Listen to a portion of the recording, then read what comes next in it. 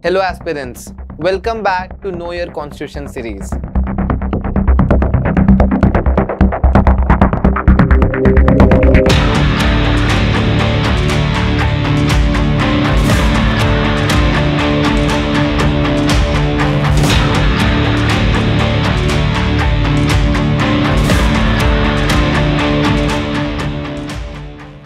Today we are discussing a very important topic, the autonomy of tribunals. If you remember, I have talked about a significant topic in my previous video in 42nd Amendment, the mini constitution.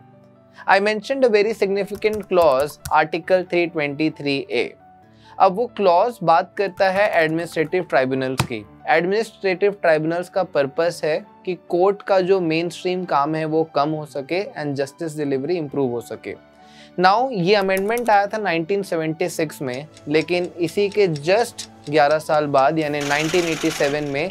for the first time the petition went into the supreme court that they are reporting that this administrative tribunals are not able to conduct their procedure impartially or independently. So the for very first time Supreme Court in the case of Sampath Kumar versus Union of India declared that it is significant for this administrative tribunals to work independently and work impartially.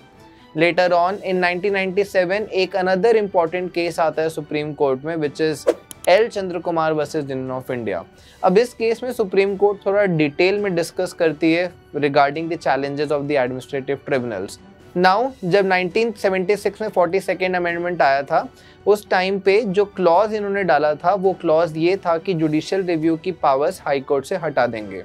So supreme court ने बोला कि इस case में आप high court को supersede नहीं कर सकते और ट्राइब्यूनल्स की अपील डायरेक्ट सुप्रीम कोर्ट में नहीं जा सकती। So they basically decided that tribunals are part of the judicial structure and we can not supersede the high court we can not bypass the high court and go directly to the supreme court although this was just for the certain matter matters and बाकी matters में Court की powers थी। इसके बाद 2010 में एक बहुत significant case आता है which is Madras bar association versus union of India अब इस केस में मद्रास बार एसोसिएशन चैलेंज करती है नेशनल टैक्स ट्रिब्यूनल 2005 को। अब इसका कंसर्न ये था कि ये पूरे तरीके से हाई कोर्ट को सुपरसीड करके टैक्स ट्राइब्यूनल्स की जो अपील्स हैं और बाकी ट्राइब्यूनल्स की अपीलें डायरेक्ट सुप्रीम कोर्ट जा रही थी। अब इस केस में मद्रास बार एसोसिएशन ने कंसीड किया कि ये जो सिग्निफिकेंट इशू है, वो इशू ये है कि इस तरीके से हाई कोर्ट्स की पावर डाइल्यूट हो जाएँगी। So supreme court said that yes this mentioned issues are legitimate and the powers of high court can not be diluted and therefore tribunals has to go through the high courts and then come to supreme court So this Madras Bar Association case had multiple series which ran through 2014, 15, 2020 and 2021 as well which was for the Tribunals Act 2021. Later on, another significant case came in 2019. This was Rogers Matthew case. Now this case का concern था Finance Act 2017. अब finance act 2017 के कुछ provisions थे जो कि बात कर रहे थे extension of the tenure appointment removal and so on so so, इस केस में जो पिटिशन थी वो ये डिस्कस कर रही थी कि कैसे जो ट्राइब्यूनल के मेंबर्स हैं एडजुडिकेटिंग बॉडीज़ हैं इनको इंडिपेंडेंस दी जा सकती है। Likewise in Madras bar association case in 2010 supreme court nullified the National Tax Tribunal Act 2005 because they are also trying to control the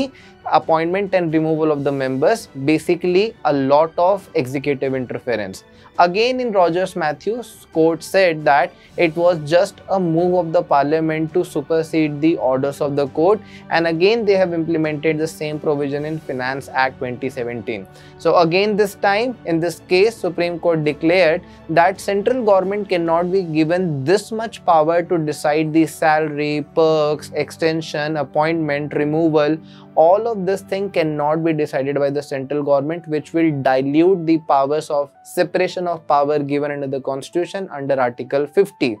hence supreme court declared that those parts which are giving excessive power to the central government are unconstitutional in nature. So i hope you liked the video. If yes please share and subscribe and see you in the next video